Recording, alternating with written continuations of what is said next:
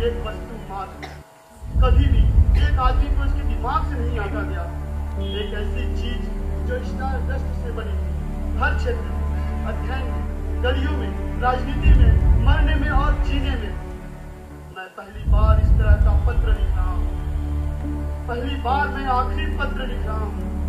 मुझे माफ़ करना, अगर इसका कोई मतलब न निकले तो। हो सकता है मैं गलत हूँ अब तक दुनिया को समझने में प्रेम दर्द मृत्यु और जीवन को समझने में ऐसी कोई हड़बड़ी नहीं थी। लेकिन मैं हमेशा जल्दी में था। बेचैन था एक जीवन शुरू करने के लिए। इस पूरे समय मेरे जैसे लोगों के लिए जीवन अभिशाप ही रहा। मेरा जन्म एक भयंकर दुर्घटना थी। मैं अपने बचपन के अकेलेपन से कभी उभर नहीं पाया। बचपन में मुझे किसी का प्यार नहीं इस क्षण में आहत नहीं मैं दुखी नहीं मैं बस खाली हूँ मुझे अपनी भी चिंता नहीं है। ये दयनीय है और यही कारण है कि मैं ऐसा कर रहा हूँ। लोग मुझे कायल करार देंगे।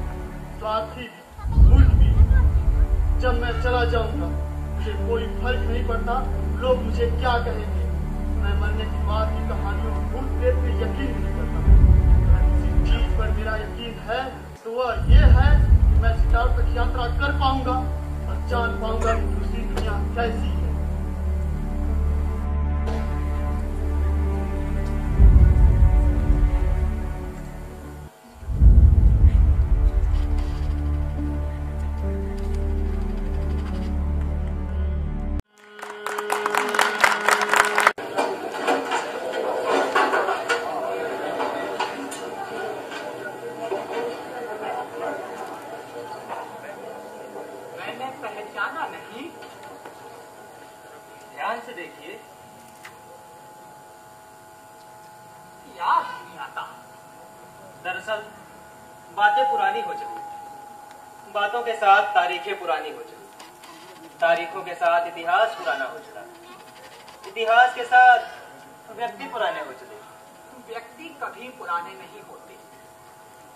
क्योंकि वो इतिहास के गुलाम नहीं होते।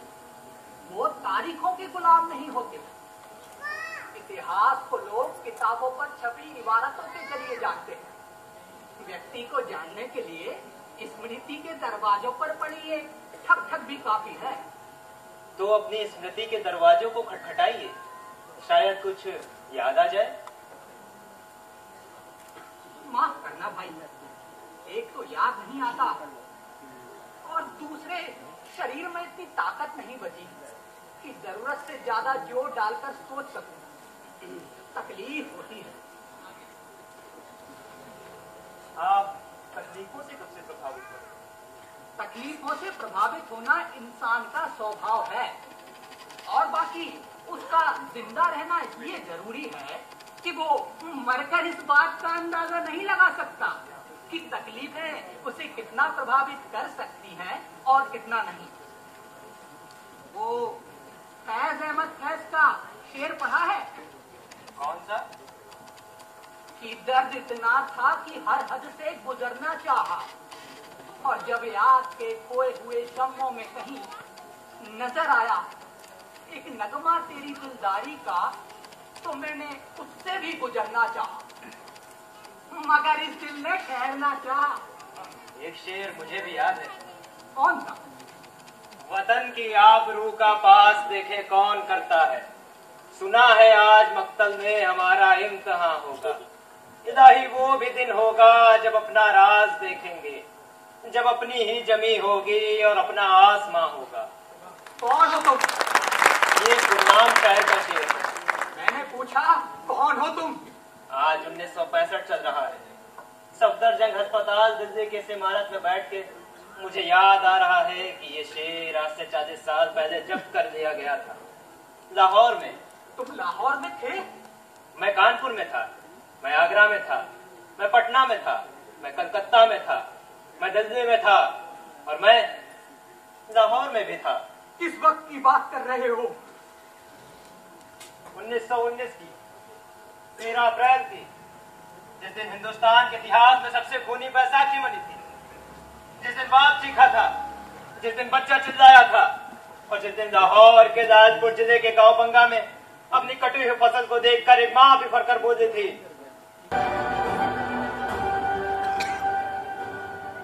अपने बच्चे का मांस खाऊँगी। अगर इस सारी फ़सल को से लगाया तो वो ज़मीन हमारी। वो मिट्टी हमारी। वो खेत हमारे। तुमने जन्मा इस फ़सल को हमारे लिए। हमारे बच्चों के लिए। हमारा खाद डालकर हमारा पानी डालकर इसमें ज़िंदगी है हमारे बच्चों की। इसमें साँसें हैं हमारे बच्चों की। और ये साँसें आज एक साथ मिलकर आसमान बुझा देती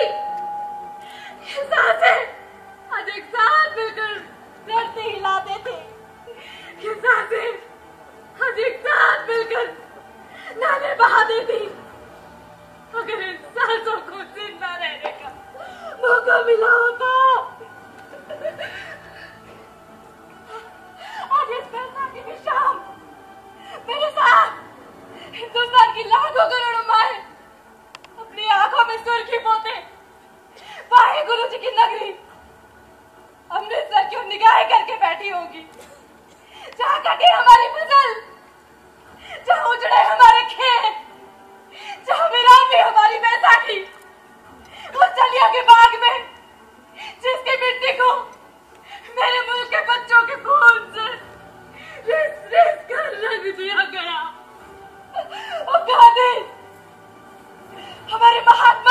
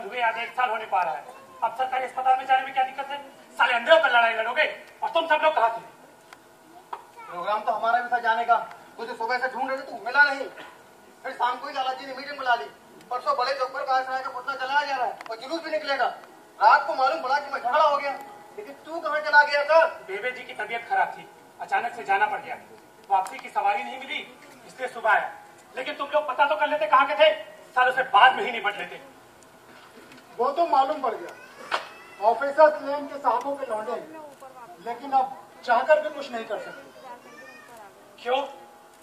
उन्होंने एफ़ आई आर लिखवा दी है, उल्टे उसके खिलाफ। अब कुछ किया तो झगड़ा बढ़ेगा। अब जितना बढ़ चुका है, उससे आगे क्या बढ़ेगा? और बढ़ेगा तो निपट लेंगे। लेकिन ये मोइन है कहाँ? भगवती भाई, आपसे मिला था क्या? मिला तो था, लेकिन एकदम से गायब ही हो गया। अब तो बस। अरे, इसको तो काफ़ी लगी है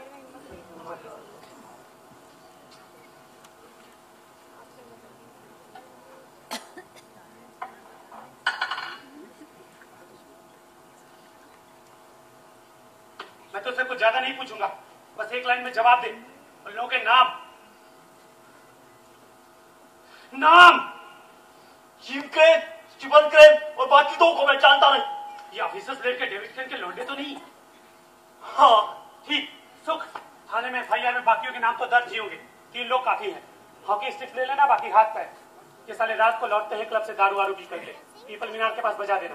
ठीक है। और देखना इनकी गाड़ी के एक भी कान सलामत ना बचे। उस पर बहुत नाज है इन्हें। समझ गया लेकिन पूरी बात तो सुन लिया हो सकता गलती इसी की रही हो। मेरी गलती! मेरी गलती! मैंने खालू को बचाया वो मेरी गलती थी। मैंने उसकी बीवी और बहन को बचाया वो भी मेरी गलती थी। साला यहाँ बैठ के बकवास कर रहा है। बहुत चौड़े में आदमी तेरी दम निकल रही थी। अरे तो मुझ पर क्यों चल रहा है यार? हर बात को दिमाग से सोचा जाएगा। उनका रंग सफ़ेद है तो गलती हमेशा उनकी होगी। हाँ उन्हीं की होगी। अब यूँ तो कुछ भी कह सकते हैं, भगवती भाई। ये हम नहीं कह रहे, ये वक्त कह रहा है। मोइन क्या बात हुई थी? इकबाल ने बोला, जगमग पर फ़िल्म चले शाम वाला टिकट ले लेना। मैंने टिकट ले ली। मैं वहाँ खड़ा, इन सबका इंतज़ार कर रहा था कि अंदर से शोर सुनाई दे अंदर भागा तो मालूम हुआ कि वो चारों खैरू को ज़मीन पर पटक कर लातों घूसों से मार रहे थे। उसकी बीवी और मैं पास में ही खड़ी थी। और उसकी बीवी की गोद में उनका छोटा सा बच्चा ज़ोर ज़ोर से रो रहा था। ये खैरू को टांगे वाला हाँ वही। और मारते हुए इंग्लिश में बहुत ही गंदी बकवास किए जा रहे कि साले हमसे कोऑपरेट नहीं करोगे तो नॉन कोऑपरेशन मूवमेंट चलाओगे काले कुत्ता! वापस लेना पड़ा है तुम्हारे उस बाप गांधी को। हमारे कंधे से कंधा मिलाकर चलने की कोशिश करोगे। और उसके बाद? उसके बाद?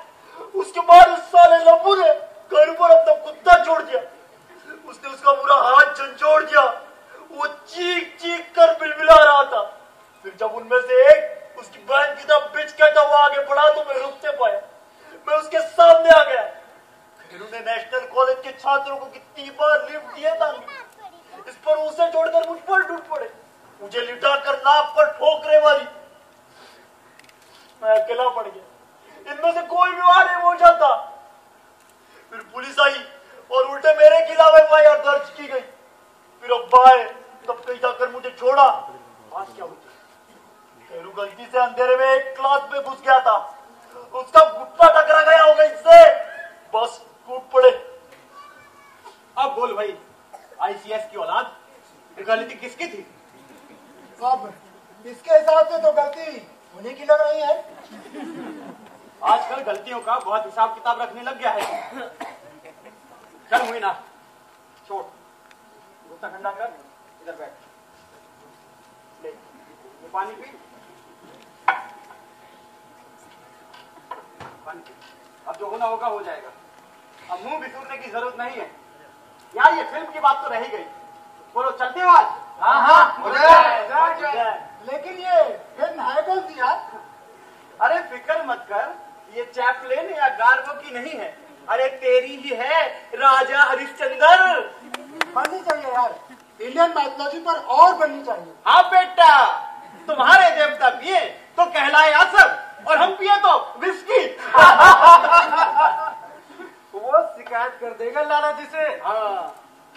लाला लाजपत राय महान स्वतंत्रता सेनानी।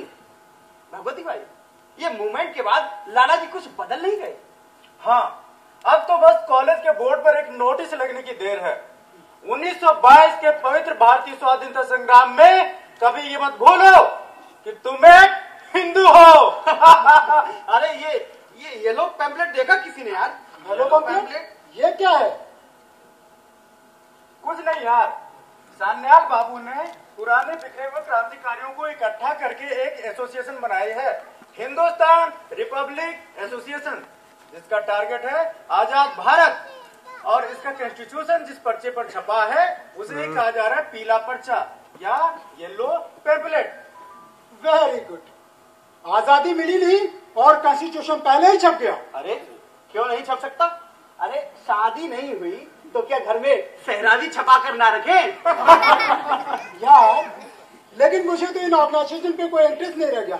कभी होम रोल सोसाइटी तो कभी गदर पार्टी। और अब ये है चारे इससे होना जाना क्या है? तो और किससे होना जाना है? यार भगत तू मान ना मान ये कांग्रेस पिछले तीस सालों से टिकी हुई है। टिकी हुई है क्योंकि वो सिर्फ़ टिके रहना चाहती है। वो काम करना भी चाहती है। बस इस नॉन कॉपरेशन वाली बात को छोड़ दे तू। उस नॉन कॉपरेशन वाली ही बात को करते हैं ना। अब वहाँ थोड़ी दिक्कत होगी। दिक्कत इसलिए होगी क्योंकि तू भी उसका शिकार रहा है और हम सब लोग भी। अब कुछ पाने के लिए कुछ खोना पड़ता है। पाया क्या? क्या पाया? ठीक कुछ नहीं पाया लेकिन उसमें भी जनता का ही दोष था। क्या दोष था? भगवती भाई उस मूवमेंट की कुछ शर्तें थी वो तोड़ी गई और उस बंदे ने मूवमेंट वापस ले लिया।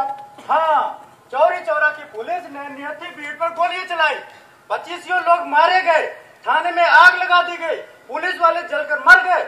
बदले में लोगों का दोष बतलाते हुए मूवमेंट वापस ले लिया गया। तो थाने में आग लगाने की ज़रूरत क्या थी? तो क्या उनके दरवाजे पर मत्था टेक कर आगे बढ़ जाते? यहाँ कांग्रेसी साहित्य पढ़कर आया है। इल्ज़ाम मत लगाओ। मैं भी कूदा था उस मूवमेंट में हाँ। तुम लोगों के साथ। हाँ कूदा था। बाप आईसीएस और बेटे के पास बेटे के पास करने के लिए कुछ नहीं। सोचा एडवेंचर ही करते हैं। तुम तहजीब से बात कर सकते हो? अपनी अपनी राय रखने का सबको हक है। मैं आज भी कह रहा हूँ उस गांधी नाम के बंदे में कुछ तो बात है। हाँ बात तो है। मुल्क के 12 12 13 13 साल के मासूम बच्चे जिस इंसान के लिए कच्ची उम्र में सड़क पर आ सकते हैं, उसमें बात तो होगी। क्या जोश था सब आंदोलन करेंगे। गांधी जी ने कहा, इन गोरों की पढ़ाई नहीं चाहिए, स्कूल छोड़ दो। बस्ते नालों में फेंक कर बच्चे तैयार। कॉपी, पेंसिल, किताबों में आग लगाकर बच्चे तैयार। अपने छोटे छोटे हाथों से पर्चे बांटे, तख्तियाँ उठाई। और फिर और फिर अचानक एक दिन पता चलता है कि आंदोलन वापस ले लिया गया। बच्चे मोबाइल ताक रहे हैं आसमान की तरफ़। अब सरकारी स्कूलों का गेट उनके लिए हमेशा हमेशा के लिए बंद। सरकारी कॉलेजों में दाखिला मुमकिन नहीं। क्या करें? कहा जाएँ? किससे फरियाद करें? कोई कुछ सुनने वाला नहीं, कोई कुछ पूछने वाला नहीं। याद है तुझे वो दिन? हाँ हाँ याद है। पर मैं फिर भी इतना परेशान नहीं हुआ था। परेशान नहीं हुआ था? साले खुद कुत्तों समान बिलबिलाते हुआ आया था अनारकली के होटल पर। कहा जाऊँगा? क्या करूँगा? बाप जान से मार देगा। पढ़ाई कैसे जारी होगी? तू तहसील से बात कर सकते हो? चूल्हे ढीली हो गई थी। गनीमत बना कि वक्त रहते, लाला लाजपत राय ने हम जैसों के लिए नेशनल कॉलेज खुलवा दिया वरना हाथ में कटोरा लेकर दर दर की ठोकरे खा रहा होता। अरे दर दर की ठोकरे है मेरी जूती। पचास को तो मैं ऐसे ही नौकरी दे सकता हूँ। किसी को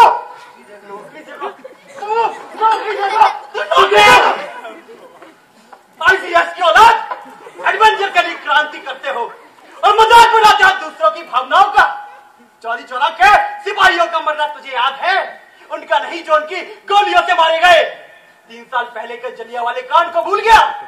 तू उन पंद्रह सौ लोगों को इसलिए याद नहीं रखेगा क्योंकि उसमें तेरा बाप तेरा भाई या तेरी बहन नहीं थे।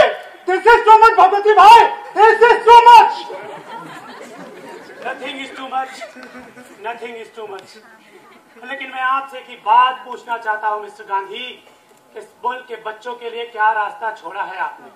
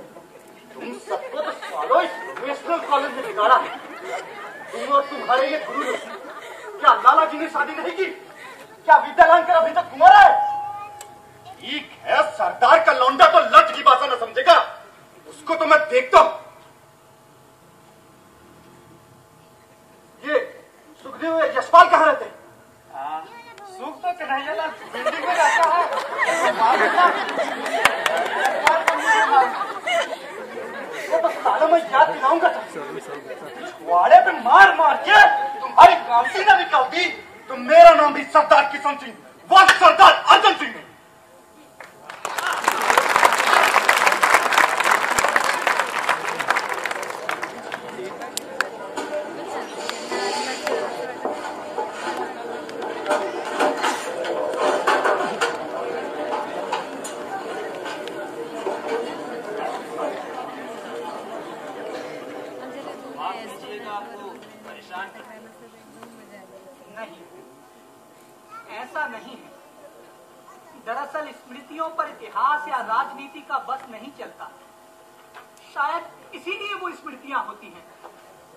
और जब व्यक्ति उम्र के खास पड़ाव में पहुँच जाता है तो ये स्मृतियाँ ही उसको जिलाए रखती हैं।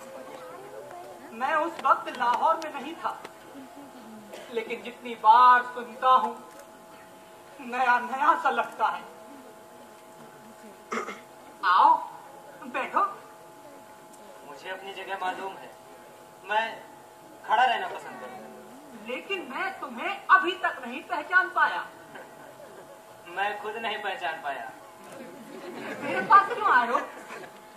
इतिहास में ना तो मेरी कोई जगह है और ना ही मेरा इंटरेस्ट मेरा इंटरेस्ट तो उन लम्हों में है जो बहुत पहले ठहर गए थे और अभी तक ठहरे रखते हैं। उनमें से कुछ मीठे थे तो कुछ कड़वे थे। मीठे बांटने वाले तो बहुत मिल गए।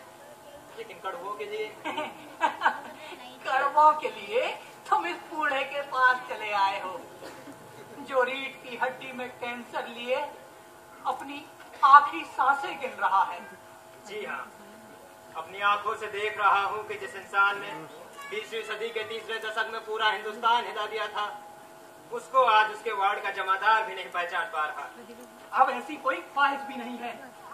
जब थी तब पूरी हुई और तब उसका पूरा होना हमारा मकसद था हमारा उद्देश्य था। मकसद क्या था वो? दूसरों को हीन बतलाना दूसरों को कॉम्प्लेक्स देना अपने जोश और उत्साह के आगे दूसरों के व्यक्तित्व को कुचल कर आगे बढ़ जाना।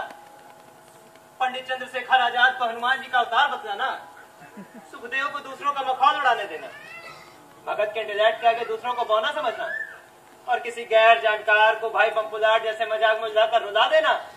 तुम भाई बम्पूलाल को भी जानते हो? क्या बात थी क्या बात थी। Let us place our life to our country ये डायलॉग आज किसी घटिया तीसरे दर्जे की फ़िल्म का नायक बोलना पसंद करता है, जनाब Let us place our life to our country. Let us place our life to our country. मुझे आज भी याद है, दिसंबर 1924 की तूफानी रात थी कानपुर में गणेश शंकर विद्यार्थी की प्रताप प्रेस के तलघर में वो खड़ा था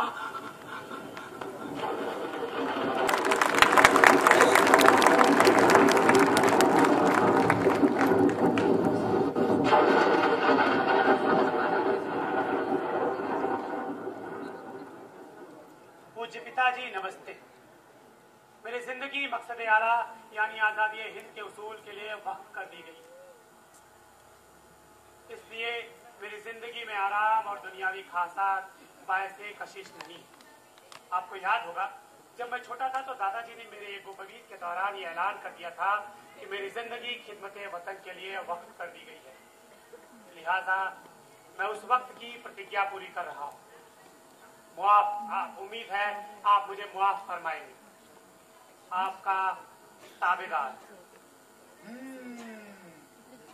भगत सिंह क्यों आना चाहते हो एच आर ए में जिस वजह से आप लोग हैं?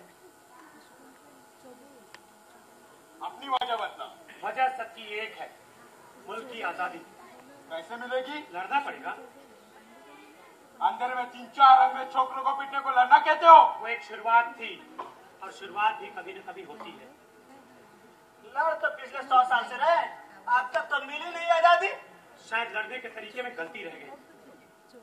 और उस गलती को तुम ठीक करने आए हो? क्यों नहीं आ सकता? हमेशा से कोई न कोई आता रहा है। शादी में शहीद होने से बच के भागे हो बरखुरदार। शहीद वहाँ भी होना है। तो कम से कम महबूबा तो पसंद की हो।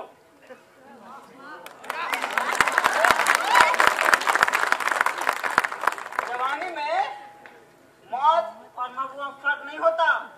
मैं दोनों का सामना एक तरह से करने को तैयार हूँ। बहुत तकलीफ़ होती है मरने में बरखुरदार आपको कैसे मालूम? आप कभी मरे हैं क्या? मौत के बारे में जितना मुझे मालूम है, उतना ही आपको भी। हिसाब बराबर हुआ।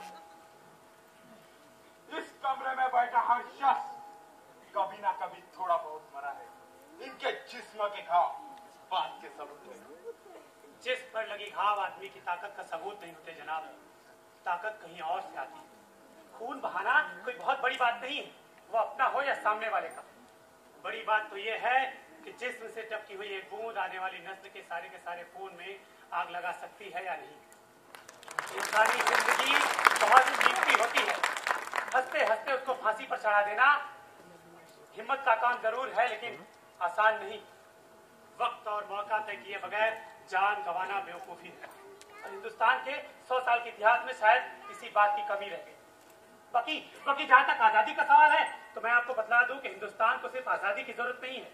ज़रूरी ये है कि आज़ादी हमें कैसे मिलती है। और कहीं अगर हमें गलत तरीके से मिल गई तो मुझे कहने में कोई हिचक नहीं कि आज से सत्तर साल बाद भी हालात ऐसे के ऐसे रहेंगे। गोरे चले जाएँगे घूरे आ जाएँगे। कालाबाजारी का साम्राज्य होगा। घुसखोरी सर उठा के नाचेगी।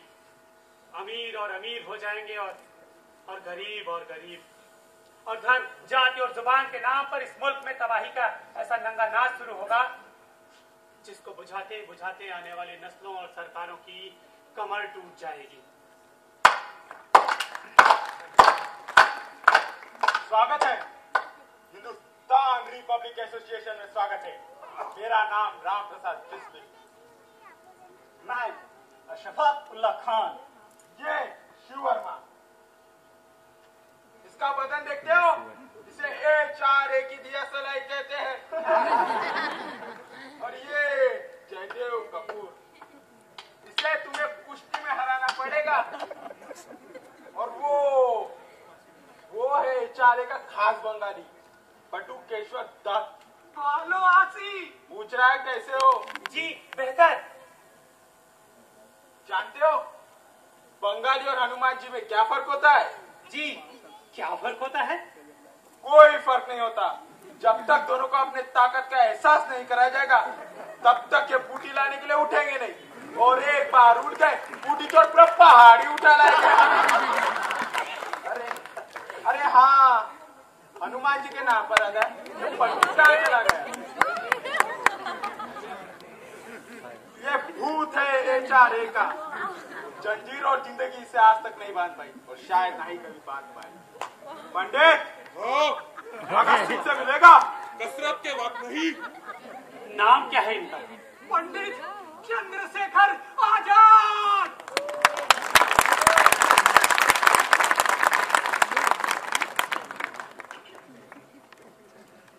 सरफरोशी की तमन्ना अब हमारे दिल में है। सरफरोशी की तमन्ना अब हमारे दिल में है।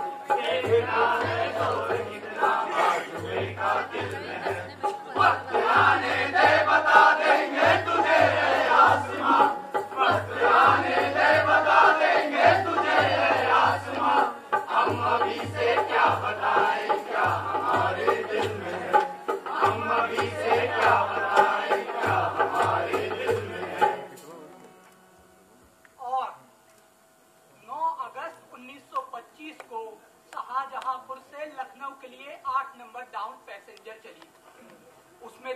सरकारी खजाना। एचआरए के सदस्यों को इंतज़ार था एक छोटे से स्टेशन का, जिसका नाम था काकोरी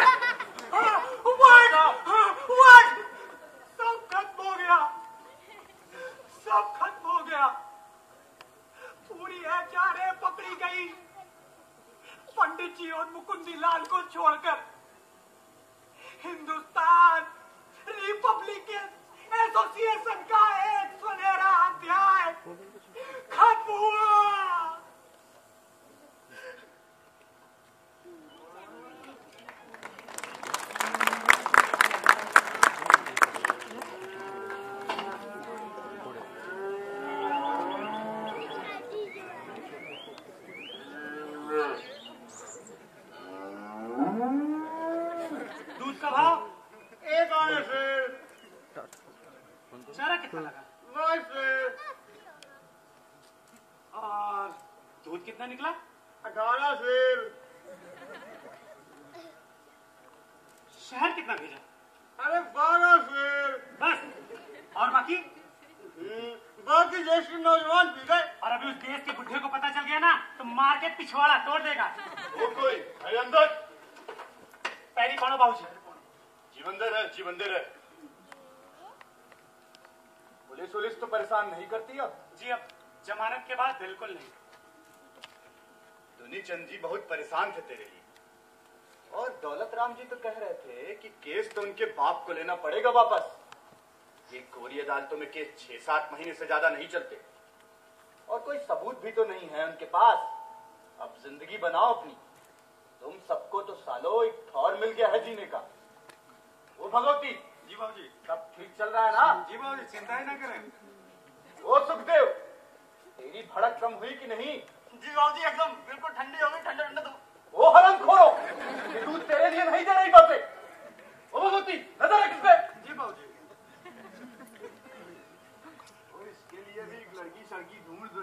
जवान पट्टा है अपना। वो बनना वाले पूछ रहे हैं। तारीख वारीख पक्की करे भगत। जी, जैसी उनकी मर्ज़ी। मैं इस बार पूरी तरह से तैयार हूँ।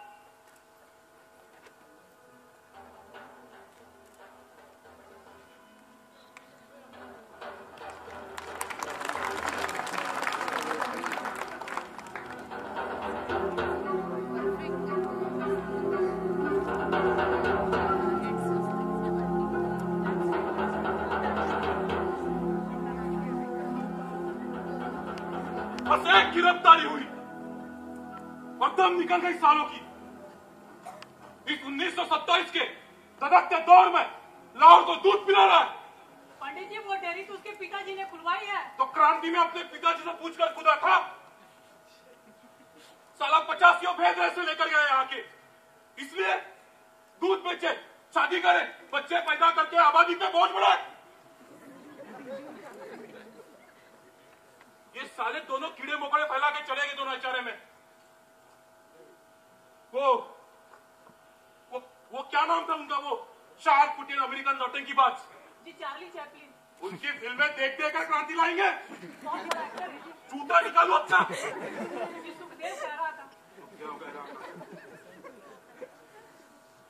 ये ये बम दशहरे में फेंके गए ना? हुकूमत का काम है पंडित जी उनको बहाना चाहिए था भगत को पकड़ने का उस पर मोटा केस लगाने का। उनको नाम चाहिए थे पकौड़ी के बचे हुए। मगर उसने बताया कुछ नहीं पंडित जी। एहसान किया? एहसान किया? बहुत मार लगी है पंडित जी। करनी पड़ेगी। सहन करनी पड़ेगी। भूलूँगा नहीं। भूलूँगा नहीं। सबसे बड़ा धोखा है मेरी ज़िंदगी का। ठीक। फैसला हो गया। राजगुरु जी पंडित जी। तुम आज की गाड़ी से लाहौर निकल रहे हो। आखिरी बार बात करके देख लेना। मानते तो ठीक। वरना भाई बमपुलाट को भी साथ ले जाना। आप एक बार खुद बात करके देख लेते पंडित जी। बस। फैसला हो गया। साला ये दिन भी देखना था।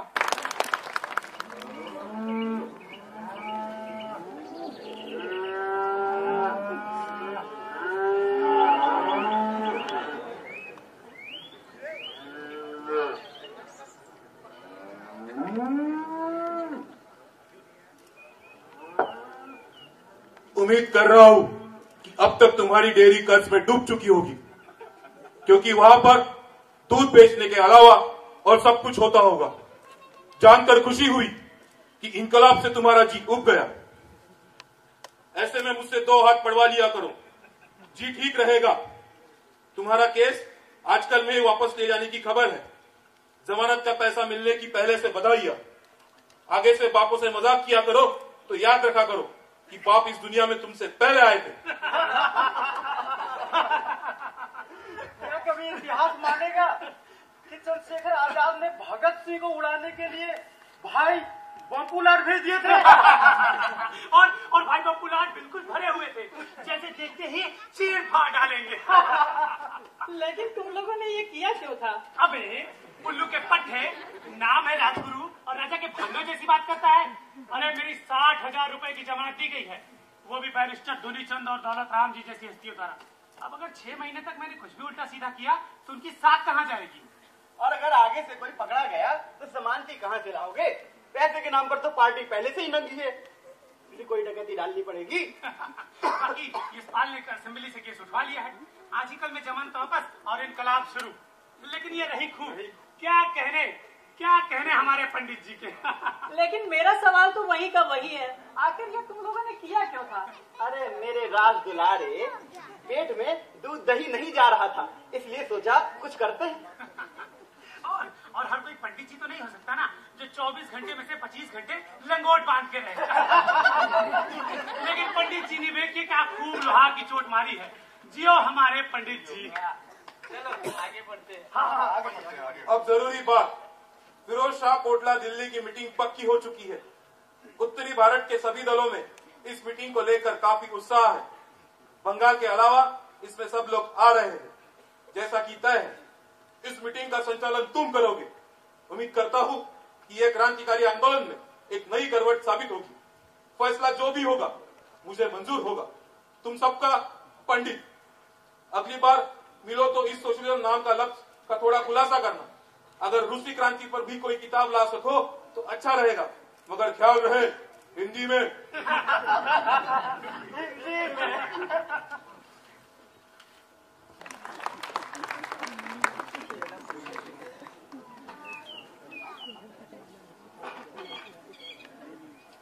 क्योंकि उस मुल्क के पास देने के लिए आइडियोलॉजी उसी की बदौलत वहाँ इनकलाब आया। रूसी क्रांति पिछले दशक की नहीं, बल्कि पूरे सदी की सबसे बड़ी घटना है, मिस्टर बनर्जी। क्या बंगाल ने क्रांति का पहला पाठ महाराष्ट्र से नहीं सीखा? क्या पंजाब ने क्रांति का पहला पाठ बंगाल से नहीं सीखा? तो फिर हम क्यों हिचके एक ऐसी चीज़ लेने में जो अप्लाइड साइंस के तौर पर उभर कर सामने आई है? लेकिन मिस्टर सिंह इस सोशलिस्ट नाम की साइंस में धर्म के लिए कोई जगह नहीं है जो हमारे देश की परंपरा रही है। हमारे देश की परंपरा गरीबी है।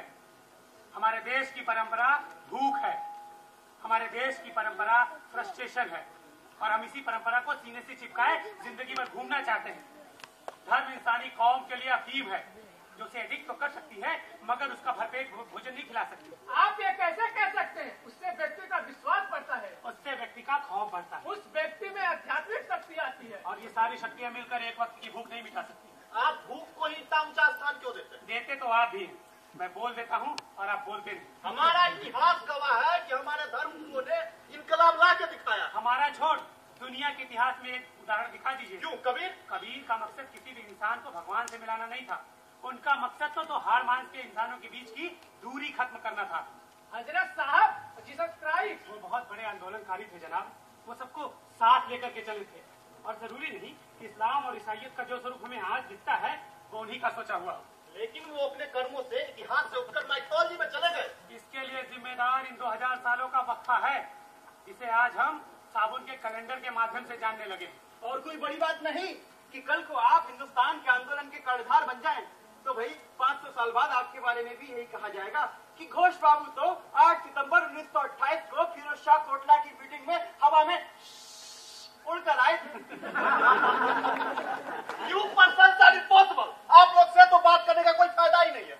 जब पास में ठोके बजाय तर्क ना हो तो किसी से कोई बात करने का फ़र्क नहीं होता। लेकिन आप इस सोशलिज्म की वैधता के बारे में क्या कहेंगे? आज़ादी ज़रूरी नहीं। आज़ादी के बाद का हिंदुस्तान ज़रूरी।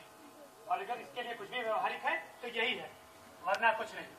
ठीक है एक आखिरी सवाल करना चाहूँगा। इस एच एस आर ए का commander in chief mister Chandrashekhar आज़ादी क्यों? क्यों नहीं? वो व्यक्ति अंग्रेज़ी की एक लाइन नहीं बोल सकता। भाई कमांडर एक प्रेरा है। उसका लिटरेट होना ज़रूरी है। लिटरेट होना एक सब्जेक्टिव बात होती है जनाब। वो कहीं पर मिस्ट्री स्कूलों की पढ़ाई की वजह है। कहीं पर ज़िंदगी के तर्क तजुर्बों से। तो फिर वो आज यहाँ इस मीटिंग में क्यों नहीं आए? इसका जवाब शिव वर्मा देंगे। पटना गए? कल सुबह कसरत करते हुए मिले। मीटिंग की याद दिलाई तो कहने लगे? पहली गलती तो ये कर रहे हो कि कसरत करते हुए मुझसे बातें कर रहे हो। कसरत के पहले उठूँगा नहीं फिर दूध जलेबी खाऊँगा फिर अपनी माउजर साफ़ करूँगा। गतिविधियों की जानकारी नहीं रखते। वरना कब का मालूम हो जाता कि आज मैं पटना जा रहा हूँ और इस मीटिंग में नहीं आ पाऊँगा। मैंने गलती से पटना का पता पूछ लिया तो बोले या मैं जानता हूँ या भाई पॉपुलर जी। तीसरे बजाने से पहले ही उड़ा दूँगा। भाई बमपुलार जी क्या? अरे भाई ये छह राउंड के होते हैं। अपने पंडित जी के पास दस राउंड के तो फिर ये तय रहा कि आज से Hindustan Republic Association Hindustan Socialist Republic Association हुआ। और अब आता है हमारा पहला टारगेट। साइमन कमीशन 30 अक्टूबर को लाहौर आ रहा है। वो जहाँ जहाँ से गुजरेगा हम उसका वहाँ वहाँ कड़ा विरोध करेंगे। और हमारा नारा होगा Simon Commission go back Simon Commission go back Simon Commission go back Senate Commission go back!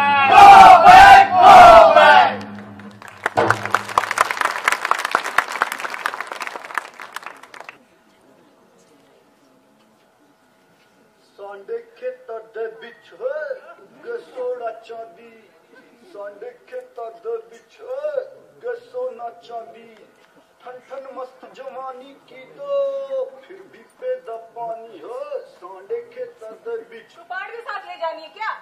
नहीं तो बिना कृपाण के सरदार तो ऐसे जैसे बिना ताज के राजा। ये तेरी नामाकुल औलाद है क्या जो सिख होते हुए भी केस कटवा लिए? अरे एक क्रांतिकारी कहते हैं लाला जी को शेर बूढ़ा हो जाने पे भी शेर ही रहता है। क्या शान से जुलूस की कमान संभाली? ऐसे लग रहे हैं जैसे आग का गोला। सुखदेव और भगवती वगैरह भी तो उनके साथ चल रहे हैं। तू उन हराम खोरों के नाम मेरे सामने मत लिया कर। ये सब के सब लाला लाजपत राय की पैरों की जूती भी नहीं है। लेकिन भगत तो उनके बारे में कुछ और ही कह रहा था। और मैं कुछ नहीं कह रहा। इस पैतालीस साल के सरदार की बात का यकीन नहीं। उस बीस साल के लौंडे का है। उस अच्छी भली लड़की को परेशान कर रखना। आप उस लड़की को समझा क्यों नहीं देते? कि कोई और शादी कर ले। अरे अपनी औलाद को समझा नहीं पा रहे। दूसरे की औलादों से बातें कर। मुझे तो ये नई पौधी समझ में नहीं आ रही। न जाने क्या खा के पैदा हुई। कल तक इन्हीं लाला जी को गाली दे रहे। आज इन्हीं को पुलिस से बचाते हुए बाप समान घेरे साथ चल रहे। लेकिन भगत तो कह रहा था कि ये सारा मोर्चा उनके नौजवान भारत सभा ने संभाल रखा है। अरे हाँ हाँ संभाल रखा। अब है तो उसी अजीत का भतीजा ना। अब ये जुलूस और मोर्चे ही करता रहे तो ठीक। कम से कम अब ये जुलूस और मोर्चे ही करता रहे तो ठीक। कम से कम अपने चाचा की तरह ज़िंदगी भर मुल्क छोड़ के बाहर तो रहना नहीं पड़ेगा। आज 20 साल होने को। घर में जवान बीबी छोड़कर गया था। बेचारी इंतज़ार करते करते बुढ़ा गई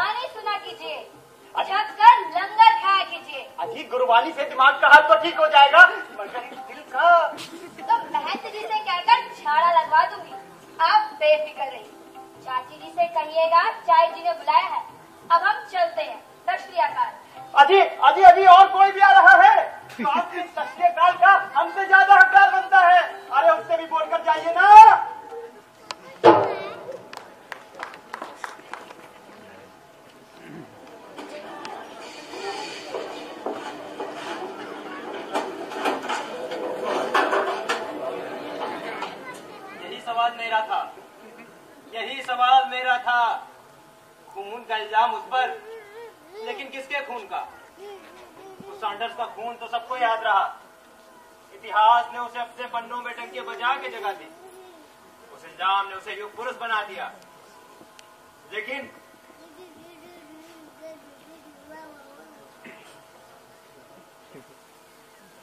कल वो किनारी बाज़ार में मिली थी अपनी माँ के साथ। मैंने सत श्री अकाल कहा तो शर्मा गई। उसकी माँ हंसकर बोली कि इनसे शर्माने की ज़रूरत नहीं। अगली होली तुझे देवर जेठों के बीच में ही मनानी जान के सपनों का खून। उसका दारोमदार। उसकी ज़िम्मेदारी। दूसरों के खून से होली खेलने वाले उस महापति ने क्या कभी मेहंदी के रंग को पहचानने की कोशिश की? ये तो होना ही था। ये तो होना ही था। मैं तुझसे पहले ही कहा करता था कि उससे हँसी मज़ाक मत किया कर। कि हमारी जमानत के दिन महँगे पड़ गए, सुखदेव। चौबीस चौबीस घंटे बम बारूद की गन सूंघने वाले उस योद्धा ने क्या कभी किसी गुलाब की नन्ही सी कली को सूंघ कर देखा?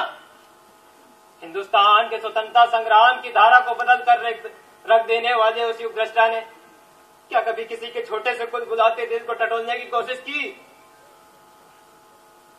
अपने आप से चोरी करने की कोशिश मत कर। तो इस वक्त सुखदेव से बात कर रहा है। मैंने उससे आज तक बात नहीं की। जवाब दीजिए। जवाब दीजिए। उस इंसान के साथ कंधे से कंधा भिड़ाकर उस संग्राम में बराबर का हिस्सा देने वाले इतने जिम्मेदार व्यक्ति होने के नाते आपका खामोश रहना कहाँ तक जायज़ है मिस्टर पटुकेश्वर दत्त इस बात से कोई फ़र्क नहीं पड़ता ये तू खुद जानता है सुखदेव ये तो होना ही था ये तो होना ही था हम इससे कहीं भाग नहीं सकते भागे बिना कोई चारा भी नहीं है ज़िंदगी हमें कहीं और धकेल चुकी है ज़िंदगी किसी को किसी की मर्ज़ी के बगैर कहीं धकेल नहीं सकती तेरी आँख में मुझे सुअर का बाल नज़र आ रहा है भगत क्या मतलब तूने आठ अप्रैल वाले एक्शन में जाने से इनकार क्यों कर दिया? किसने कहा? वो पंडित जी का आदेश था कि आठ अप्रैल को असेंबली में बम फेंकने मैं नहीं जाऊँगा। बम फेंकने की पेशकश तेरी थी। वहाँ गिरफ्तारी देने की पेशकश तेरी थी। वो आज भी होगी। वहाँ उस वक्त दुनिया जहाँ की प्रेस मौजूद होगी। विदेशी पत्रकार भी होंगे। ऐसे सारे को अपनी बात दुनिया तक पहुँचाने का इससे अच्छा मौका नहीं मिलेगा। और पहुंचाएगा कौन? वो राजगुरु जो लाचार बचपन की वजह से ऐसी ज़ुबान नहीं रखता कि अपनी बात ठीक ढंग से रख सके। या जय गोपाल। जो तेरे एक इशारे पर जान की बाजी लगा सकता है लेकिन बेचारा चाह कर भी मंच पर खड़े होकर क्रांति के मकसद को बौद्धिक स्तर पर व्यक्त नहीं कर सकता। ये सब बातें मुझसे बोलने का मतलब? सरदार भगत सिंह सुखदेव से एक मामूली सी बात का मतलब पूछ रहे हैं। तो बहुत गंदा इशारा कर रहा है सुखदेव। सरदार भगत सिंह को एकदम एहसास हुआ है कि उनका इंटेलेक्ट सिर्फ़ लेख लिखने में है। ऐसे सारे के थिंक टैंक कहलाए जाने वाले सरदार भगत सिंह के इरादों में दिक्कतें आने लगी हैं। कह रहा हूँ खामोश हो जा सुखदेव किसी भी किस्म की क्रांति में कंफ्यूजन की कोई गुंजाइश नहीं रह- रहती जनाब। और खासकर जब कंफ्यूजन किसी औरत का लाया हुआ हो। मैं कह रहा हूँ खामोश हो जा सुखदेव दरिया की लाली में बदलाव देख रहा हूँ मैं। कोई वजह नहीं बनती कि तू इस पीढ़ी के मुँह पर थप्पड़ मारे जो तेरा मुँह देख देख कर जी रही है। पंडित जी!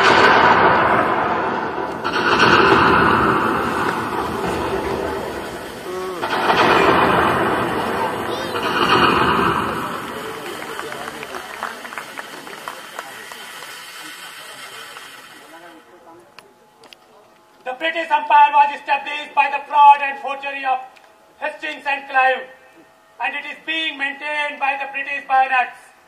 And henceforth, we say in loud roaring voice that down with imperialists. Workers of the world, get united!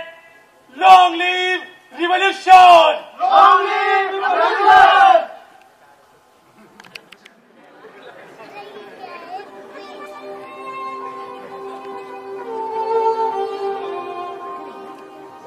अरे अब मैं क्या करता मना कर दिया सबके सामने। सारी जेल देख रही थी। मुकदमा खुद ही लड़ेगा। उससे फ़ायदा? इन लोगों के फ़ायदे और नुकसान को ही समझ पाया है क्या? एक लाहौर भेजी उसके घर बाकी सारे सेंटर्स पर। सरकार बौखला उठी है पंडित जी। चारों तरफ़ छापे पड़ने शुरू हो गए हैं। सभी को इन्फॉर्म करना पड़ेगा। कि सभी अंडरग्राउंड हो जाए। सिर्फ़ अंडरग्राउंड होने से काम नहीं चलेगा। काम जारी रहना चाहिए। तुम अभी पुनः निकल रहे हो, राजगुरु। और अपनी कैची सी ज़ुबान पर काबू रखना। झांसी, आगरा, पटना, सहारनपुर तार कर दो। तार कर दो कि बचे रहे। लाहौर सूबे को खबर करो कि गायब रहे। उन्हें कुत्तों समान ढूंढ रही है पुलिस।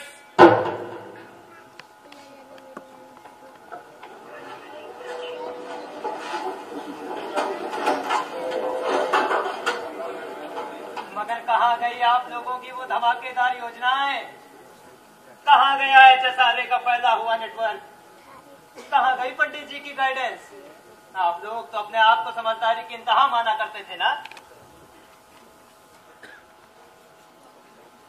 क्या?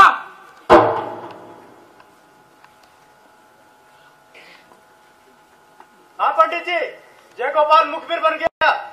लाहौर की बम फैक्ट्री पकड़ी गई और आज आगरा की और फैक्ट्री के साथ। फैक्ट्री के साथ। मेरा संदेशा तेरे लिए ये है भगत कि मैं भी पीछे नहीं रहा। जेल जेल का फ़र्क है। तू दिल्ली में है मैं लाहौर में। मैंने सुना है तुम्हारे केस की कार्यवाही शुरू हो गई है।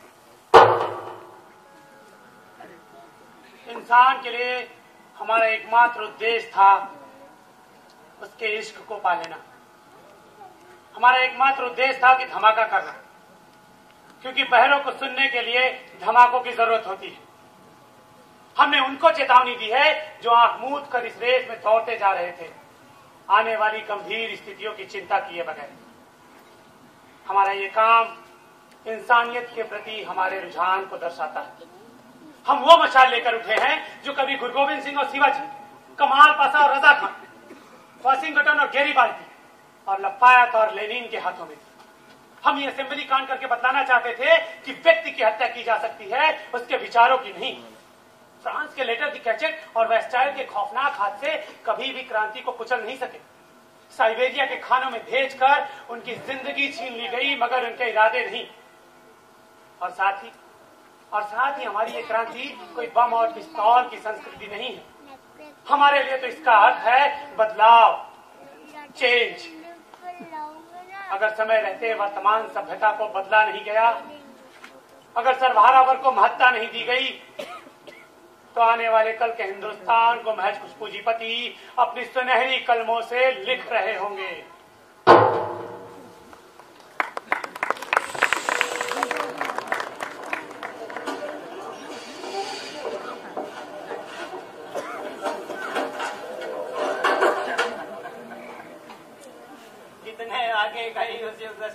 की भविष्यवाणी किसके कानों में रची बसी रह गई है आज उसकी बात? आज उन्नीस सौ पैंसठ इस बात का गवाह है कि आज़ादी हमको कांग्रेस ने दिलवाई। उसके पीछे वो गांधी नाम का बंदा था।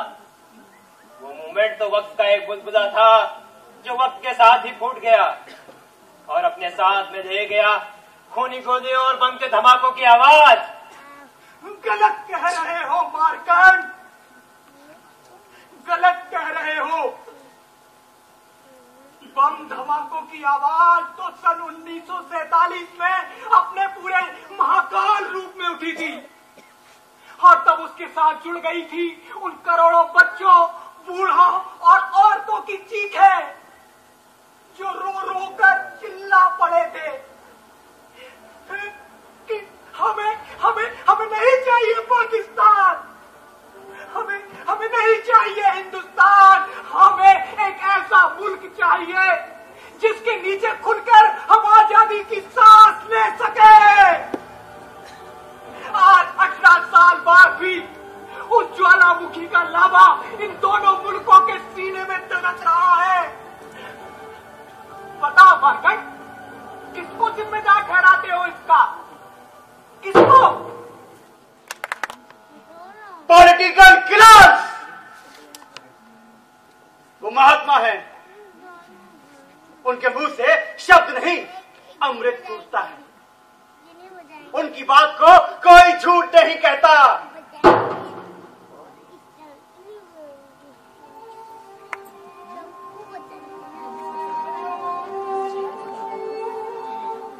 पंडित जी को खबर कर दो। शिव वर्मा, जयदेव कपूर। सुरेंद्र पांडे। अजय सहारनपुर में पकड़े गए। मैं ये जगह आज ही छोड़ रहा हूँ। अपना ख्याल रखना। क्योंकि कल भगत और बटुकेश्वर दत्त का फैसला है। अजय सुनते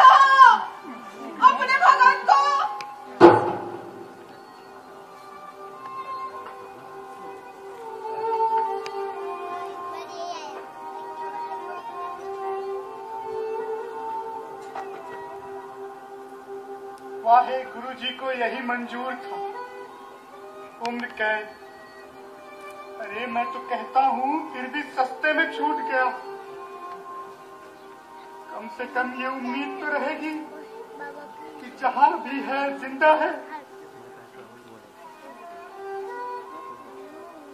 जिसे अजीत के ज़िंदा रहने का है। अरे हाँ हाँ। और क्या? देख लेना। चाचा भतीजा दोनों इकट्ठे वापस आएँगे एक दिन। और जो जोरों से बैसाखी मनेगी इस घर में कि पूरा लाहौर गूंज उठेगा। मेरा नाम भगत सिंह है। मेरा नाम सुखदेव है। मेरा नाम यतीन्द्र नाथ दास है। आगरा की फैक्ट्री में था। मसाला घोल रहा था। पीछे से आवाज़ सुनाई दी हैंडसम एक बार तो सोचा कि एक तैयार किया हुआ बम पीछे फेंक हैंडसअप करो लेकिन फिर सोचा तुम लफंगों से मिलने का मौका नहीं मिलेगा बम बनाना सिखाया है बेटा बम हम बाप है तुम्हारे हम बाप है दुनिया की we are at least great to great we are super humans we are beyond human beings हमें अपनी शालीनता बनाए रखनी पड़ेगी हमें खुदा बनकर दिखाना पड़ेगा। जमाना तभी मानेगा कि क्या लोग थे भाई। तो क्रांति के रास्तों में अपनी भावनाओं को पैरों तले कुचल कर आगे बढ़ गए। याद है? याद है। अरे, याद कैसे नहीं होगा?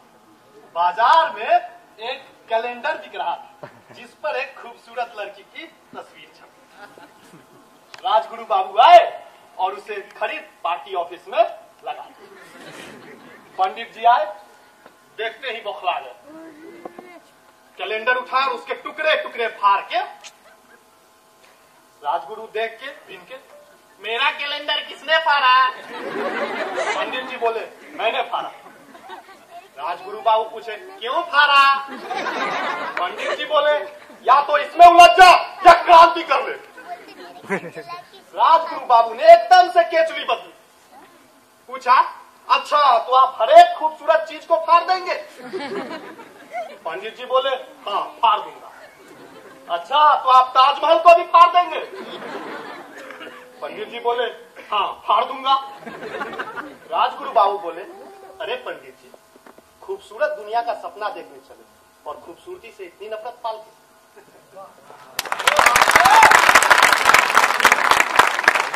वाकई एक खूबसूरत सवाल था। तुझे याद है वो इतालवी क्रांति? जब मैं जिनी अपने पहले विद्रोह की हार से बुरी तरह टूट चुका था, वो अपने खोए हुए साथियों को याद करके बार बार रो पड़ता था। उसकी प्रेमिका के सिर्फ़ एक खत ने उसे इतना मज़बूत बना दिया कि आगे चलकर उसने इतिहास का दिशा निर्देशन शुरू कर दिया। हाँ मैंने उस लड़की के बारे में पूछा था, क्योंकि क्योंकि वो मुझे याद आती है। और और किसी को याद करना मेरा हक है। किसी को यादों में बसा लेना मेरा हक है। वो तो वो तो हम गुलाम मुल्क के नौजवान हैं, सुखदेव। और इश्क जैसी पाक, साफ़ चीज़ के लिए आबो हवा भी अभी ठीक नहीं है।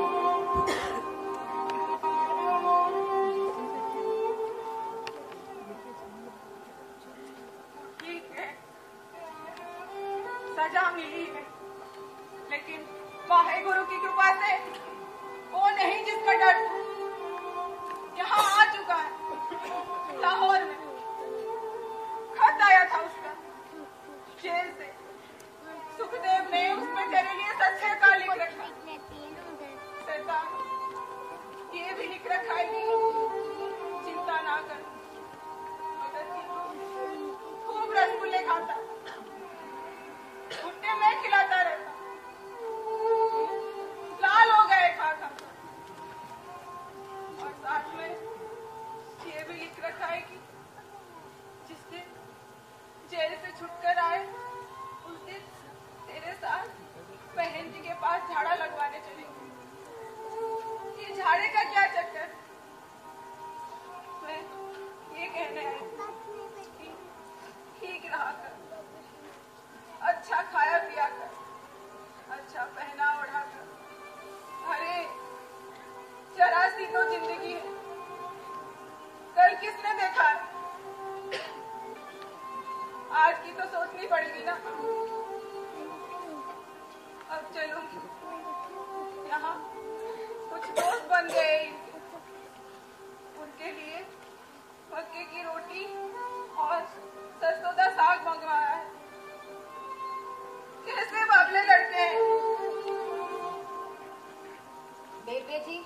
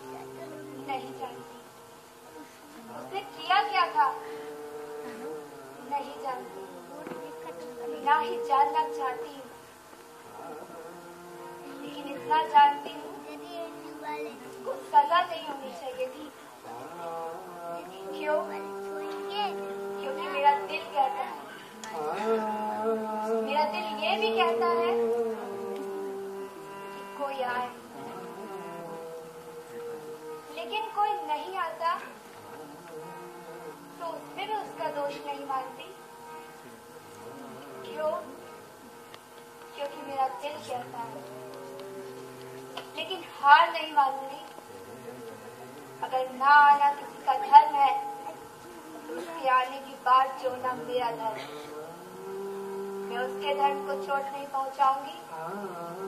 मेरे धर्म को चोट नहीं पहुंचाएँगे बाकी आप तकलीफ़ मत किया कीजिए। अच्छा खाना और अच्छा पहनना अब मेरा धर्म बन चुका है। क्योंकि फीका रंग पहनकर कोई किसी का इंतज़ार नहीं कर सकता।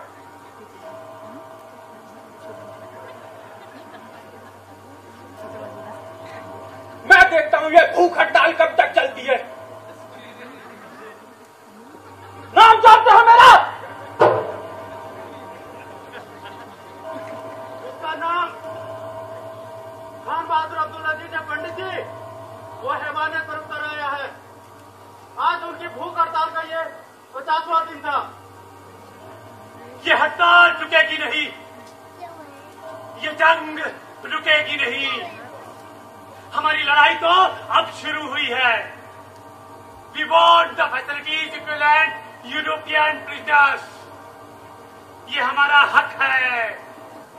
इनकलाब जिंदाबाद। भगत! शिवने मक्खियाँ मारकर खानी है। उसका सारा खाना बाहर आ गया है। अजय ने मिर्चों वाला पानी पी लिया है। ये लोग लोग उसके गले में नली नहीं घुसड़ पा रहे। और दीन ये दीन के फेफड़ों में एक से दूध भर गया है, भगत। उसका बदन अकड़ रहा है। उसकी कर दिया। वो अपनी आँखें तक नहीं खोल पा रहा, भगत। उसकी आँखें भी उसके दिल से दौरा उसके दिल से क्यों आया पंडित जी। क्या कोई कुछ नहीं कर सकता? और ये मत सोच लेना, किसी यतीन्द्र के जाने से हिंदुस्तान का ये उमड़ता हुआ संग्राम रुक जाएगा। ये दौर चलता रहेगा चलता रहेगा। जब तक कि हम नहीं हासिल कर लेते कंप्लीट इंडिपेंडेंस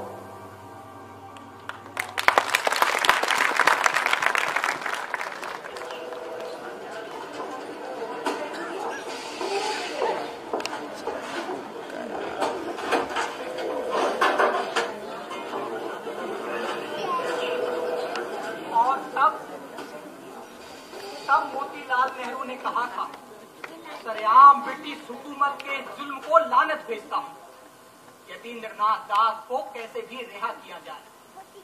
जवाहरलाल नेहरू ने कहा, सर, झुकाता हूँ शर्मिंदगी से इस हैवानियत के सामने। यतीम दास को कैसे भी बचाया जाए। और गणेश शंकर विद्यार्थी बोले थे I spit on the courage of British Empire you don't even know how to kill don't you forget that the nation has had enough from you the Britishers Now it needs something from us, and we are out and out prepared to give the precious most thing we have, that is our lives.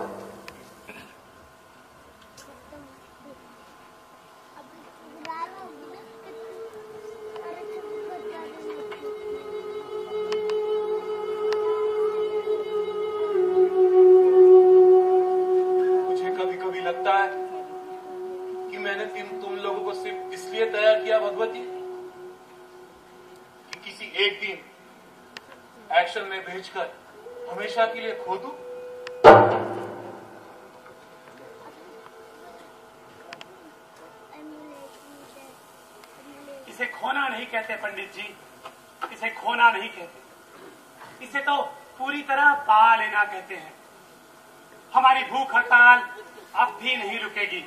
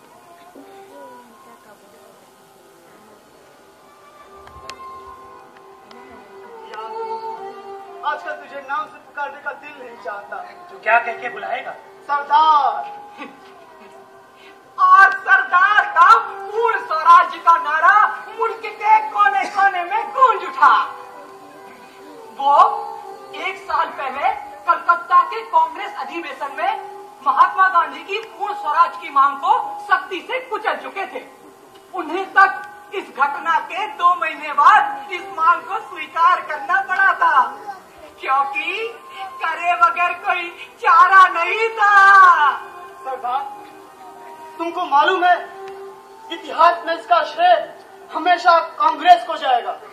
कल जब मैंने जमादार के आठ साल आठ साल के बच्चे को ये नारा लगाते हुए देखा तो मेरा श्रेय मुझे मिल गया। एक बात पूछो सरदार तुम कभी इन महात्मा गांधी से मिले हो? हाँ इकलौती याद जब भगत आठ साल गांधी लाहौर आए थे। स्कूल में तमाम भीड़ उनके चारों तरफ़ थी। चारों तरफ़ तहलका मचा हुआ था। बच्चे तो मचल मचल कर उन्हें देखने की कोशिश कर रहे थे। जब वो भगत के सामने से गुजरे तब भगत बोल पड़ा। सत तब वो धीरे से रुके उसकी तरफ़ देखा। सर पर हाथ रखा और बोले श्री के साथ वंदे मातरम भी बोला करो। हमारे देश को उसकी भी ज़रूरत है। तब मैं उसके पास ही खड़ी थी।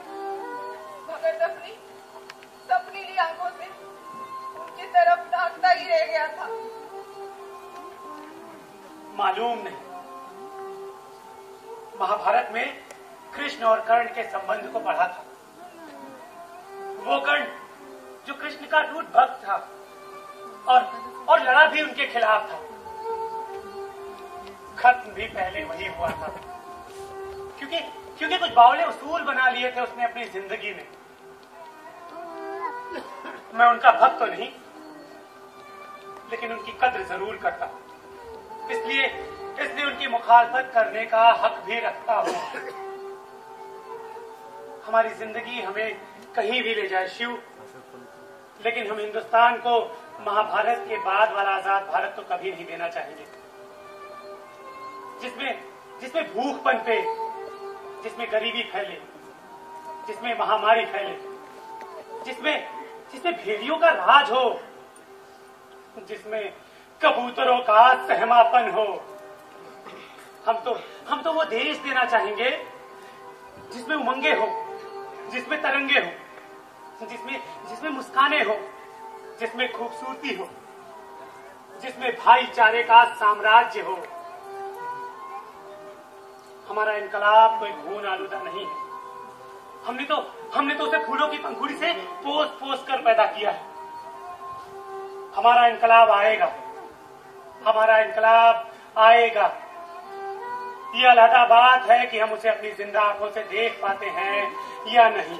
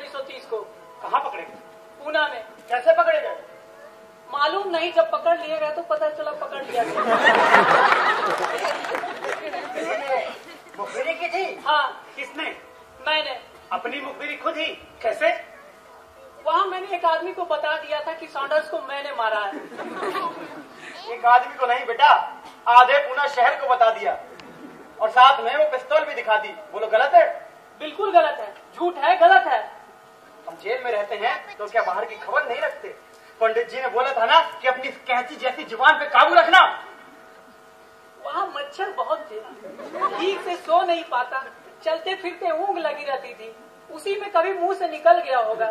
अरे व्हाट यार? I here and this welcome अरे जियो तुम्हारी अंग्रेज़ी.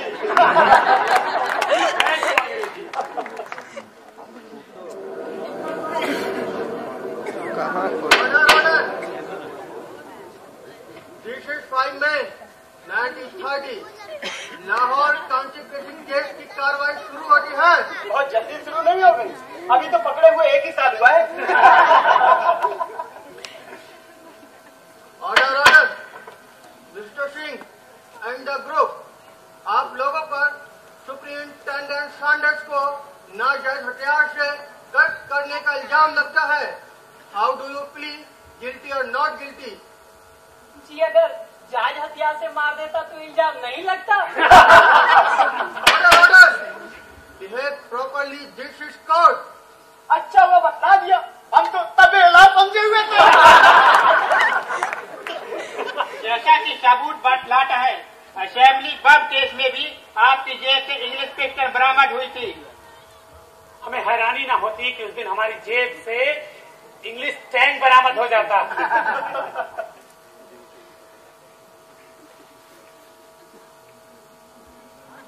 आप लोगों ने अपना वायदा तोड़ा है मिस्टर सिंह। आप लोगों ने फिर से भूख हड़ताल शुरू कर दी है। आप लोगों ने अपना वादा तोड़ा है। आपने हमारी मांगे मान ली थी। आपने उस पर अमल करने से इनकार कर दिया। आप लोग जानते हैं कि आप लोग सिर्फ़ स्पष्ट करने की कंडीशन में हैं। और आप लोगों से ज़्यादा ये एहसास किसी को नहीं कि हम आज आपको वार्निंग देने की हालात में है। आपकी डिमांड पर गौर किया गया। आपके खाने को लेकर की गई कंप्लेंट बेबुनियाद पाई गई। इस समय हमारी जेलों के खाने का स्टैंडर्ड एवरेज से बेटर है। अगर सब्ज़ी में कॉकरोच और रोटी में मिट्टी को ब्रिटिश हुकूमत बेहतर खाना कहती है तो we really doubt on the British taste of food London में से लंदन में से पोटेटोज विथ कॉकरोच और चपाती विथ स्विफ्ट के नाम से सर्व किया जाता होगा। हिंदुस्तान में से घटिया खाना कहते हैं। घटिया खाना! आपकी दूसरी मांग है कि आप लोग पॉलिटिकल इसलिए आपसे अस्तर के नीचे का काम न कराया जाए। काम काम होता है, मिस्टर सिंह। उसमें स्टैंडर्ड की कोई गुंजाइश नहीं होती। तो कभी हमें अपनी बग्घी में बिठाइए और खुद घोड़ों की लगामे थमिए और अपनी मेम साहिबा को बगल में बिठाकर उनसे कहिए कि अपनी पतली महीन आवाज़ में ज़ोर ज़ोर से चिल्लाए, हटो हटो, मिस्टर सिंह की सवारी आ रही है। काम के स्टैंडर्ड का फ़र्क मालूम पड़ जाएगा। आपकी तीसरी मांग है कि आपको किताबें और लिखने का सामान बेरोक टोक देने की सुविधा दी जाए। साथ ही हर प्रिजनर्स को कम से कम एक न्यूज़पेपर सरकारी खर्च पर मुहैया कराया जाए। खाने की अच्छी सुविधा, पहनने को साफ़ कपड़ा, आपको क्या लगता है? आप किसी हिल स्टेशन पर बैठा है और कैजुअल पर है? जी, आप लोग हमारे मुल्क में चुपचाप इस तरह से घुस आए जैसे हमारा मुल्क आपके बाप की जागीर हो और आप लोग मेटर्निटी लीव पर हो।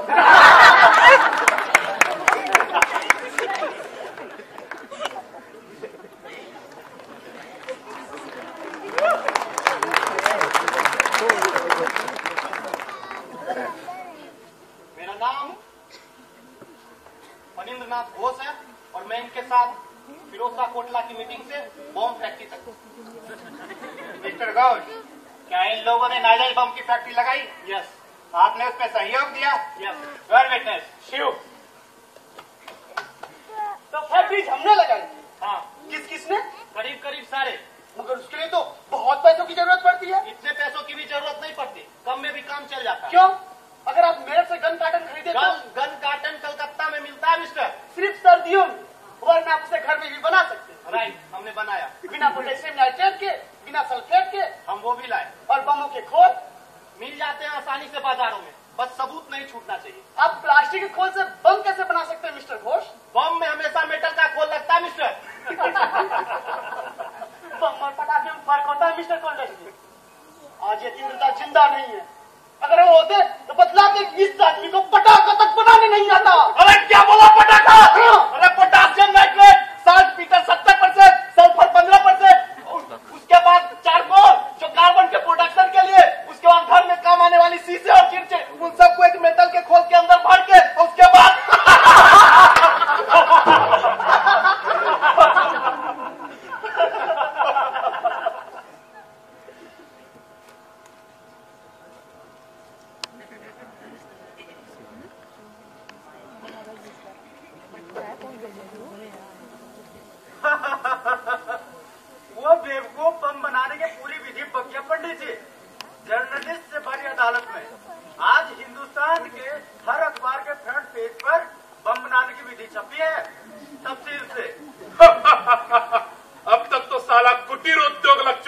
मेरा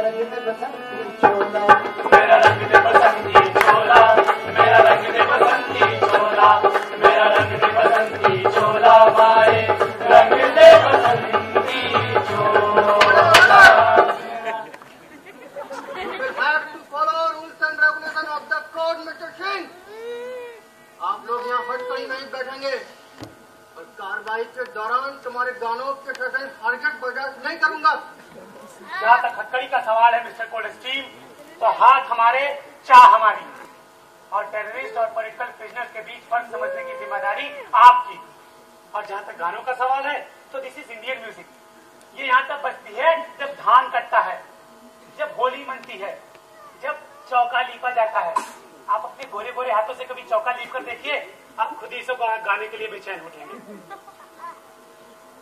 आप लोग अपने आप को काला क्यों कहते हैं मिस्टर सिंह? आप तो गोरे हैं। आप लोग अपने आप को गोरा क्यों कहते हैं स्टीम जी? आप लोग तो गुलाबी हैं।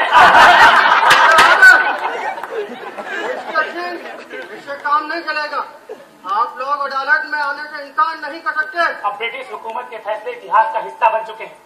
अब ना तो हमको उसके सुनने की ख्वाहिश बची है और ना ही इंतज़ार करने का सब। आप लोग जानते हैं ये केस आपकी गैर मौजूदगी में भी चलाया जा सकता है। Ordinance of the special tribunal viceroy के इस नए सबू- सबूके काम को पता है। जुडिशरी के इतिहास में शायद ये पहला मौका होगा जो स्पेशल ऑर्डर से कैदियों की गैर मौजूदगी में चलाया जाएगा। रिस्पेक्टेड वायसराय के बारे में तहजीब से बात कीजिए। देश के सबसे बड़े लीडर मिस्टर गांधी भी उनका नाम सम्मान से लेता है। हमें पता है गांधी इरविन पैक्ट के बारे में जिसमें ब्रिटिश हुकूमत ने श्री गांधी के शांतिपूर्वक धरने देने की बात को स्वीकार कर लिया। जिसमें इंडियन इंडस्ट्रीज़ की रक्षा के नाम पर ब्रिटिश गुड से 15 परसेंट और नॉन ब्रिटिश गुड से 20 परसेंट टैक्स घटा लिया गया है। न तो किसानों पर से लगान कम हुए हैं और न ही नागरिकों पर से टैक्स। यहाँ तक कि नमक कर भी नहीं हटाया गया है। और साथ में सारे राजनीतिक बंदियों को छोड़ा गया शायद गांधी साहब को ये मालूम नहीं कि 1915 की गदर पार्टी के सैकड़ों बंदी आज भी जेलों में सड़ रहे हैं। मार्शल लॉ के सैकड़ों बंदी ज़िंदा कब्रों में दफन है। देवगढ़ काकोरी महुआ बाज़ार, लाहौर कॉन्स्पिरेसी केस में से एक को भी नहीं छोड़ा गया। बंबई, कलकत्ता, चढ़गांव, देवली देवली में से हज़ारों केस चल रहे हैं। क्रांतिकारी औरतें अपने बच्चों और पति को छोड़कर भागी हुई हैं। न मालूम कितने लोग फांसी की बात जो रहे हैं। इस बारे में क्या कहता है ये गांधी इरविन पैक्ट कुछ नहीं बोल पाया था वो गांधी इरविन पैक्ट और कुछ नहीं बोल पाए थे कांग्रेस के सारे सर्वे सर्वा कुछ नहीं बोल पाए थे देश के सेल्फ स्टाइल्ड लीडर्स उन्होंने अदालत आना ही बंद कर दिया। सर, शायद सरकार चाहती ही ये थी। और इस सदी का और सबसे अनोखा मुकदमा चला जिसमें अभियुक्तों को तलब करने की ज़रूरत ही नहीं समझी गई। मैं तुम्हारा नाम भूल गया। मैंने बताया ही नहीं था। कानपुर सिर्फ़ मुझसे मिलने आए हो? जी हाँ जैसे सिर्फ़ दत्त साहब से मिलने दिल्ली गया था। वो बात उन्नीस सौ पैंसठ की थी। आज उन्नीस सौ चौरानवे चल रहा है। आज किसी को उस वक्त में क्या इंटरेस्ट जाग गया? जब जागना चाहिए था तो जागा नहीं। अब जब जागा है तो उनमें से सिर्फ़ आप ही बचे हैं। बहरहाल मैं आपको ये बतलाने आया हूँ कि ये उन्नीस सौ चौरानवे आज इस मुल्क को हम जैसों की देन है। उसकी नहीं क्या मतलब? मैं उन हज़ारों लाखों लोगों को रिप्रेजेंट करने आया हूँ। जो उस वक्त उस इंसान की तूफानी रफ्तार से अपने आप को बचा नहीं पाए थे। और जिन्होंने उसकी दूसरी शक्ल देखकर दूसरा भगत सिंह बनने का इरादा ठान लिया था। लेकिन लेकिन लेकिन वो उसके साथ दौड़ नहीं पाए। उन्हें बीच में ही रुकना पड़ा। उनमें कुछ लोग थक गए तो कुछ फिसल गए। वो बीच में ही गायब होकर अपनी मंजिल तक पहुँच गया। हम सैतालीस साल बाद भी आज रास्ते में ही भटक रहे हैं। मेरे पास मेरा ताम्र पत्र है। मेरे स्वतंत्रता सेनानी होने का सर्टिफिकेट मैं आज मर्सिडीज से आया अपने एयर कंडीशन बंगले से निकलकर। मेरे सारे नाती पोते पब्लिक स्कूल में पढ़ते हैं। मेरी पत्नी शहर की सबसे बड़ी सोशल ऑर्गेनाइजेशन की ऑनरेरी प्रेसिडेंट है। मिल रही सुविधाओं को इस्तेमाल कर लेने में क्या हर्ज है? ये बात आप कभी उस समय बोल पाए? यहाँ चुनाव आता है। तुमने कुछ और चुना उसने कुछ और। क्यों क्यों क्यों? मैं वो क्यों नहीं चुन पाया? जो वो चुन गया।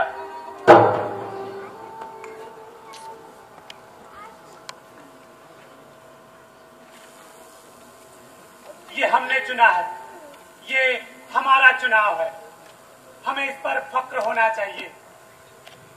अगर हमारे इस मूवमेंट ने आने वाले हिंदुस्तान को कोई दिशा दी तो यही हमारी उपलब्धि होगी। कोई दिशा नहीं दे पाए तुम। आज के हिंदुस्तान में तुम्हें सिर्फ़ साबुन के कैलेंडर पे देख के याद किया जाता है सरदार भगत सिंह। लोगों की यादों में बसना हमारा मकसद है। कल हमारा फैसला है। और ये मज़ेदार बात नहीं कि हमें पहले से पता है कि ये फैसला क्या होगा। कल मेरे इनकम टैक्स के मुकदमे का फैसला था। कोर्ट रूम में मेरी टांगे थर थर काँप रही थी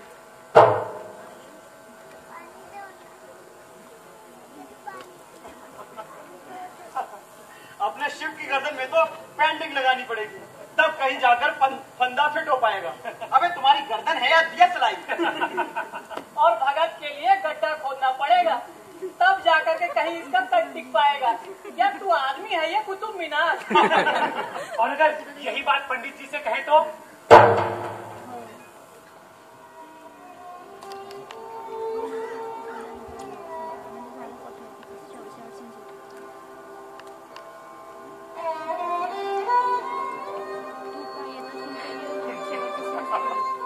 किसकी इतनी मजाल जो इस माउजर के रहते पंडित जी के जिस्म को? मैं भी। मैं भी बहुत दिन नहीं जीऊँगा भगत। तुम लोगों की याद बहुत आती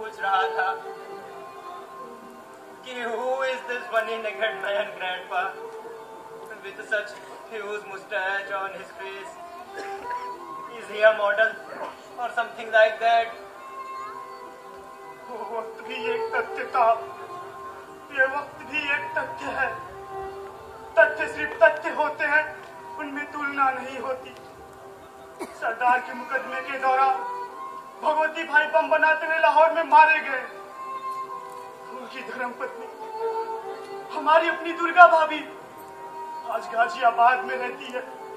किसको मालूम है? काकोरी केस के इकलौते चिराग, डॉक्टर मनमथ नाथ गुप्त आज निजामुद्दीन दिल्ली में रहते हैं। किसको मालूम है? और किसको मालूम है कि कानपुर में रह रहे इस शिव वर्मा नाम के इंसान के हाथ, उस इंसान के हाथों में दबते, जब अपनी अंतिम यात्रा पर जा रहा था।